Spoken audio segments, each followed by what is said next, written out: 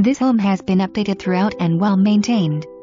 The home features four bedrooms with a possible fifth or office area. The master suite has a walk-in closet.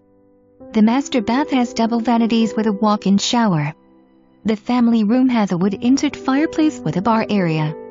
The kitchen and dining area is open concept with custom cabinetry and wood-burning fireplace.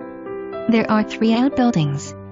The main outbuilding has a kitchen area, bathroom, electricity, with concrete floors and additional storage area. The second outbuilding has a workshop with concrete floors, furnace, electricity and has spray foam insulation with an additional garage area with concrete. The third building is a machine shed with dirt gravel floor. This property is a must-see. It is a perfect mix of home for her and plenty of man cave for him.